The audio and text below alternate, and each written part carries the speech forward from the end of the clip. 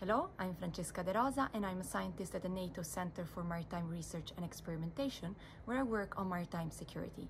My broader research field is in artificial intelligence and I have a PhD in interactive cognitive environments. The concept of interactive cognitive environments relates to the idea that we live into a world where there are many elements that perform cognitive tasks, both humans and systems. And therefore, we need to design our systems in a way that they can cooperate seamlessly with the human. Therefore, human system integration, human factor engineering, and human computer interaction are becoming of paramount importance.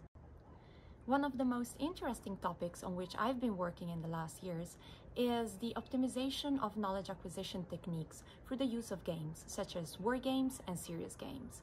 It is very important to collect end user knowledge because we need to understand not only user needs, but also their reasoning patterns and reasoning schemes to ensure that our algorithms and our systems very well fit with the way in which the user performed their task and not the other way around.